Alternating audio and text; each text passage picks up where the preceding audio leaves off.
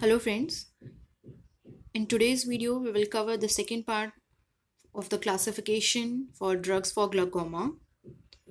So friends, in the first part we have covered the drugs which will act by decreasing the aqueous secretion and in this part we are going to see the drugs which will increase the aqueous outflow.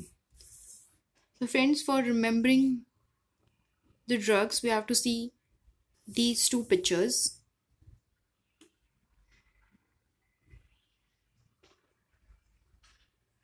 Here is a boy who's your friend and his name is Dippy.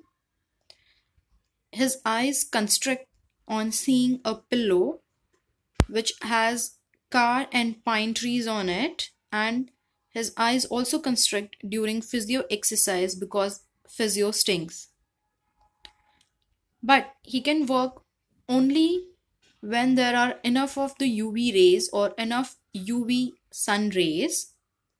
But the UV sun rays are governed by two girls, Lata and Bima, who stay there as a PG, as a paying guest, and they carry a rose in their hand. So, the drugs which increases the aqueous outflow are subclassified into two types. One is increasing the trabecular outflow.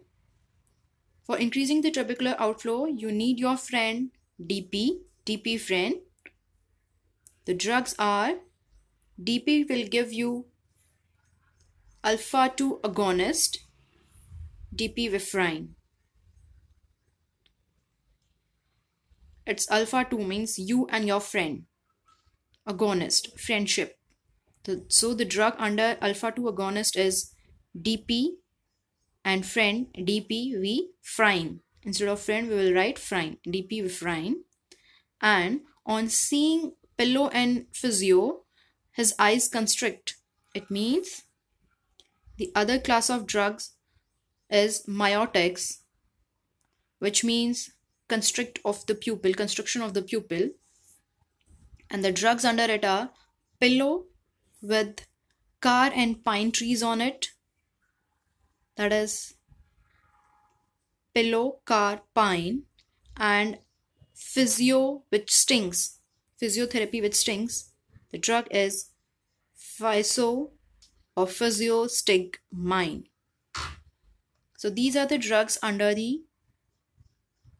trabecular outflow increasing the trabecular outflow now we will see the other subclassification that is the drugs which will act by increasing the uveoscleral outflow. UV sun rays, instead of UV sun rays we will write UVO, uveoscleral outflow and as we already know these two girls are staying there as a PG so the drug subclassification is PG analogs and the drugs are Lata,